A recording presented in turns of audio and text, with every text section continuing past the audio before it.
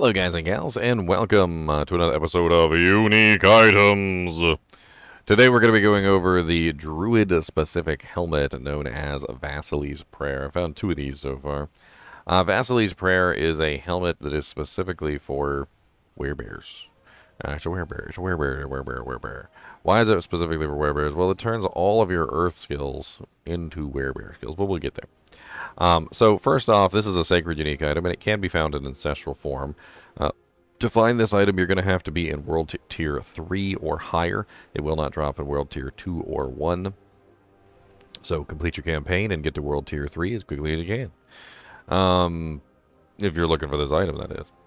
Now, the item has uh, bonus damage while shapeshifted, so it, got, it has a very nice uh, up to 10% bonus. Now, this does go up considerably as the item level goes up. This is only a 657 item level, and item level goes up as high as 820 um, from drops.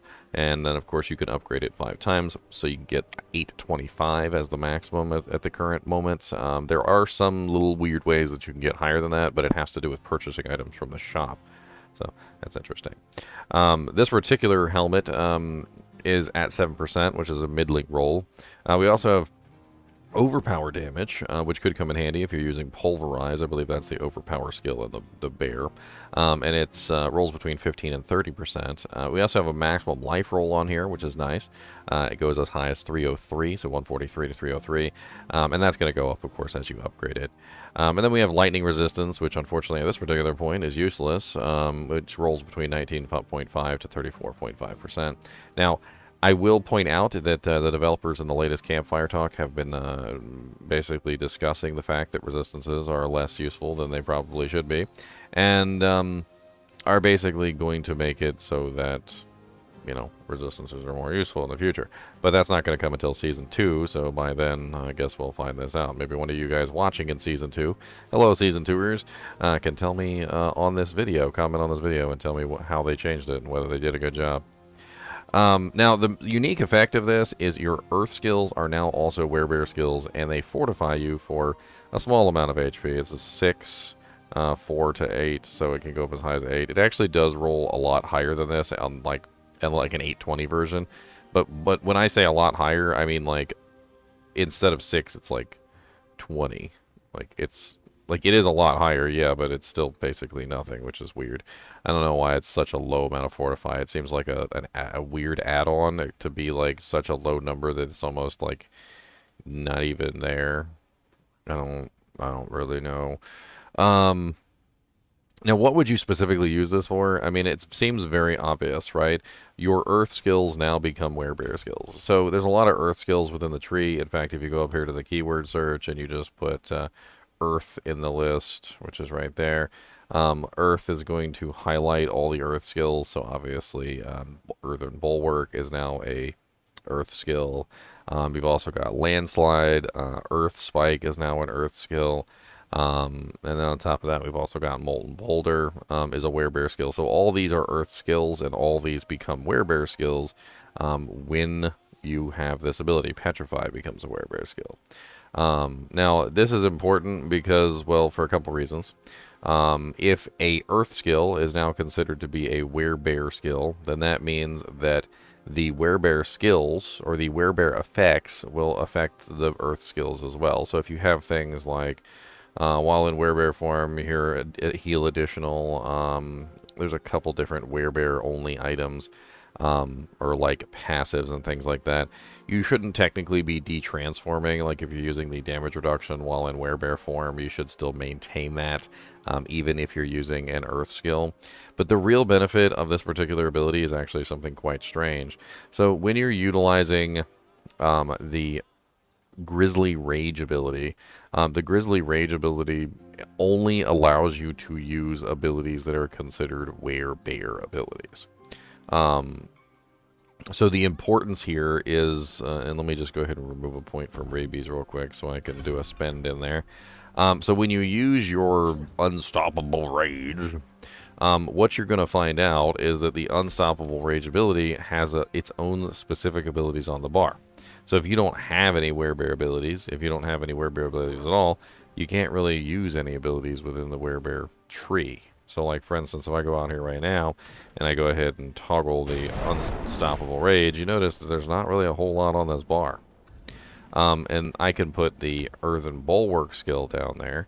Um, but it's really just a matter of like I'm not able to utilize the skills that I want.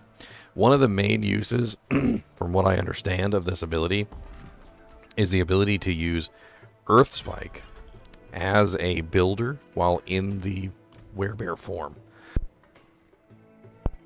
So, if you are a werebear, um, which I'm not a werebear, I'm using the Mad Wolf's Glee, so I have the the wrong abilities entirely to show this off.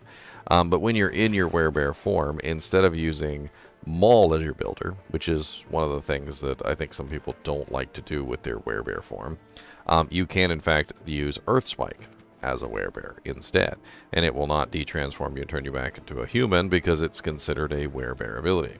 Um, this also means that when you utilize things like your Grizzly Rage form, you should also have access to whatever your builder is. I'm dying. Um, and it basically just makes it so you don't have to detransform all the time. Um, you can utilize Earth abilities in your Werebear build without having to worry about detransforming out of the werebear form, which is definitely very nice. Um, and there's a ton of different abilities that you could potentially use, but none more potent than the difference between Maul and Earthspike. So why why would you use Earthspike over Maul? Well, the answer is because Earthspike is a ranged ability.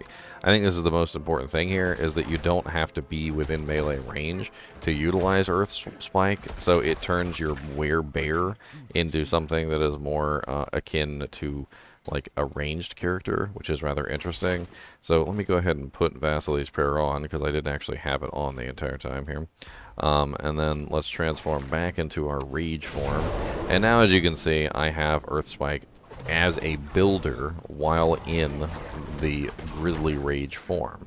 Um, anything that is considered an Earth skill, like like Earth Spike, should technically be able to go there.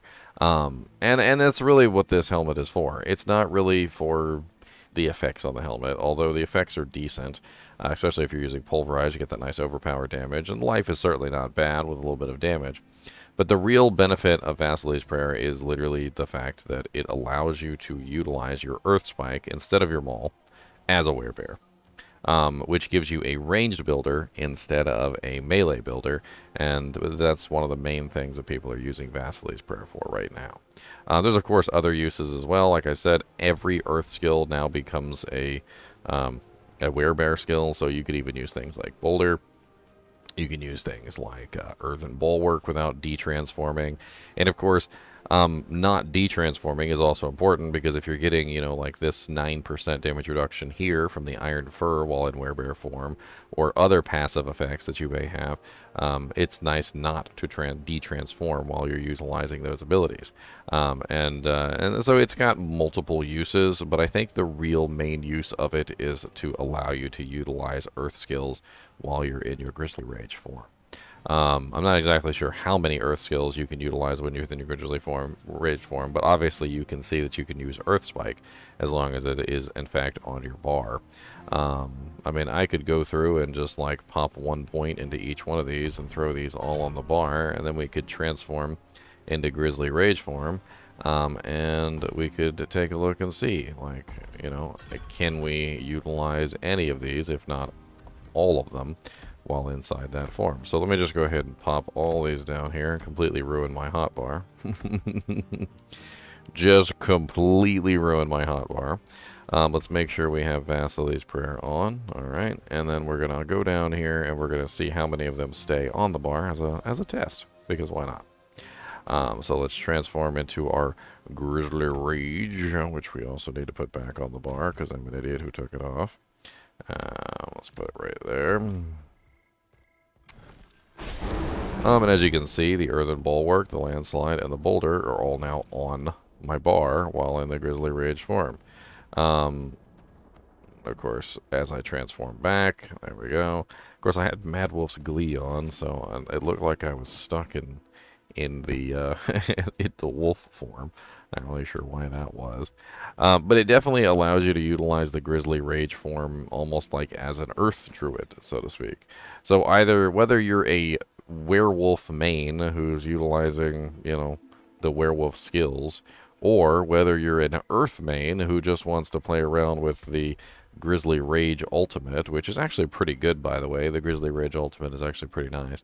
I was actually looking at this specifically for my um, my werewolf because there's a passive that changes Grizzly Rage into a werewolf, which could be interesting. Um, I don't know. I don't know if it's going to be that great, but um, but as you can see here, Grizzly Rage, Earth skills, and now I can utilize those Earth skills while I'm in combat. Of course, they have to be on the bar though, which is the thing. Um, if they're not actually on the bar, they don't show up. Cause you, so you're going to need to put them on the bar. And the hell is that? The hell did I click? Clue what that was. Um, anyway, I hope you enjoyed this video on Vasily's Prayer. Um, it does have some flavor text, so let's go ahead and read that. Roots from the great oak growing at the seaward statue of Vasily will, on rare occasions, be found twisted back upon themselves, suffused with ferocious magic.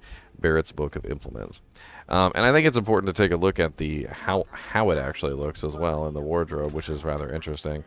Um, so Vasily's prayer is actually like freaking Goku hair. I don't even know how to explain it other than that. It legit just looks like Goku hair. Like you can, I think you can dye it um, different colors, um, and you can make it look like the mask can look different. But the hair itself seems to be stuck on the yellow color, which is rather interesting. I mean, legit, like you, it turns your druid into Super Saiyan. Super, Super Saiyan, Super Saiyan 2, or no, no, Super Saiyan 1 probably, not Super Saiyan 2. It's got the short hair. It'd be like, it'd be like Gohan Super Saiyan, right? Like, because he's always got the short hair, not the really long hair like Goku. yes. Yes. Anyway, as always, I've already spent too much time on this. Uh, thank you for watching, and uh, keep watching.